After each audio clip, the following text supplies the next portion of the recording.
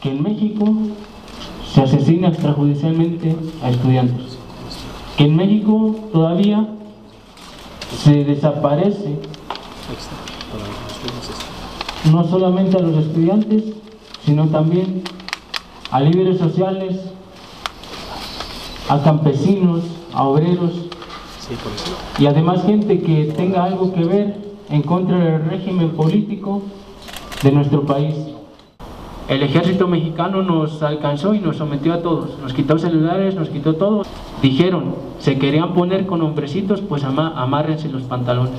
Ustedes se los buscaron, ni siquiera palos llevábamos, pues porque no estábamos en un movimiento, no estábamos gestionando nada.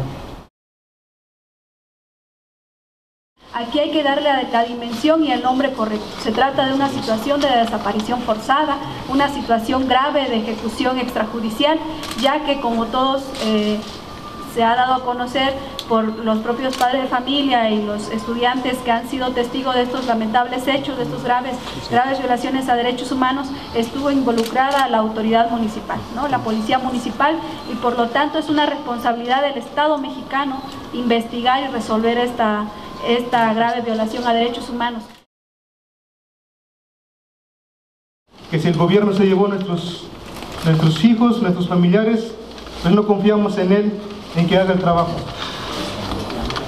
Nuevamente, pues lo que queremos dar a conocer es de que queremos justicia y castigo a los responsables de la masacre eh, del día 26-27 de septiembre por la desaparición forzada de los 43 estudiantes que hasta la fecha no conocemos el paradero de ellos. No nos sirve de nada que el presidente de la República salga se lamente de este hecho. Él es el jefe del Estado mexicano, más que sus lamentos queremos resultados y sus acciones.